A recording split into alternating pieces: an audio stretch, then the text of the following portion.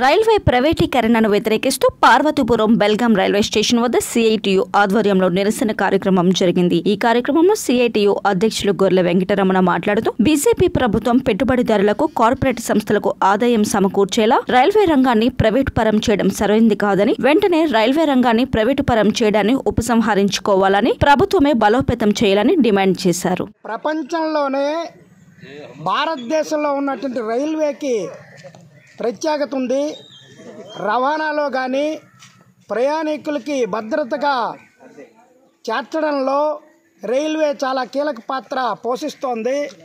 మన దేశ ఆర్థిక వ్యవస్థలో కూడా భారత రైల్వే కీలక పాత్ర పోషిస్తోంది. నిరుద్యోగులకు ఉద్యోగం వచ్చేటువంటి అవకాశాల్లో కూడా రైల్వే కీలక పాత్ర పోషిస్తోంది. ఇటువంటి రైల్వేల్ని కేంద్ర ప్రభుత్వం ప్రైవేటు వ్యక్తులకి కార్పొరేట్ శక్తులకి ఇచ్చే ప్రయత్నాలని చేస్తోంది. దీన్ని సిఐటియు తీవ్రంగా వ్యతిరేకిస్తోంది. భారతదేశంలో ప్రపంచంలో వచ్చిన సంక్షోభం నుంచి మనం బయటపడేదానికి భారతదేశంలో ఉన్నటువంటి రైల్వే బొగ్గు ఇటువంటి ప్రభుత్వ రంగ పరిశ్రమలు కారణం. అటువంటి ప్రభుత్వ రంగ పరిశ్రమల్లో భాగంగా ఉన్నటువంటి భారత రైల్వేని కార్పొరేట్లకు ఇచ్చే ప్రక్రియ మోడీ ప్రారంభించాడు. దీన్ని తీవ్రంగా వ్యతిరేకిస్తున్నాం.